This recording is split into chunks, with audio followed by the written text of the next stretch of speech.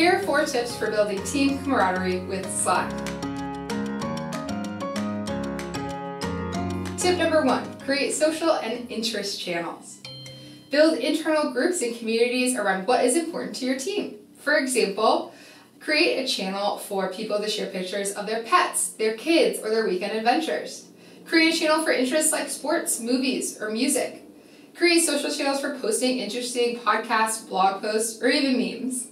At Slack, our team has hundreds of social channels, which allows teammates to bond over common interests and get to know each other a little bit better. I'm sure your team has a wide array of backgrounds, experiences, and interests. Foster them by creating these social channels in Slack. Tip number two, use huddles to respect people's times. Respecting your team's limited time at work plays a big role in building team camaraderie. No one wants a calendar full of long meetings that could have easily been an email or even a Slack message. But it's even better when you have huddles to have quick conversations. The average huddle is usually less than 10 minutes, so you don't always need to get into a meeting room in person or schedule a video call. Sometimes a quick audio chat is more than plenty. And if you need to, you can always turn on video, share screens, comment in thread, and more in your huddle.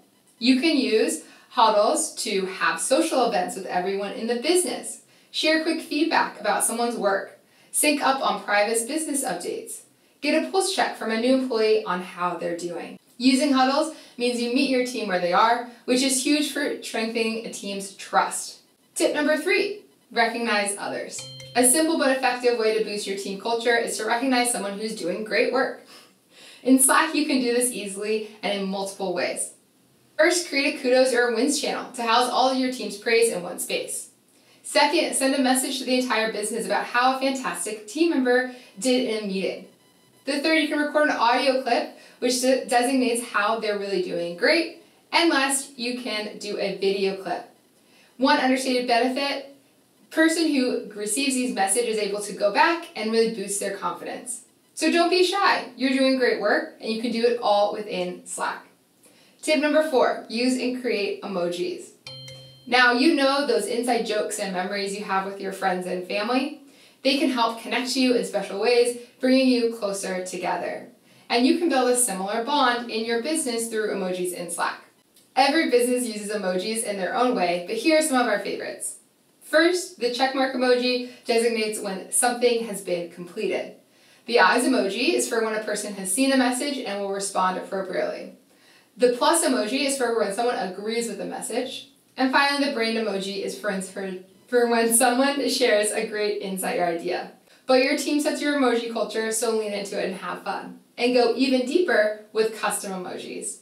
You can create your own emojis when the standard ones don't convey what you're looking for, or you want to commemorate a silly joke or moment in your own way.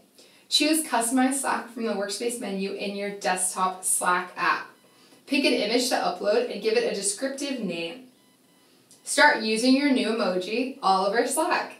In today's teams, emojis play a bigger role than you might think when building culture, and Slack makes it very easy to get started. These four tips can improve how your team works together. Social and interest channels, huddles to respect people's time, sharing praise through clips and custom emojis can seem like small things to try but the impact they have can be big on your business, your team, and you as a Slack user.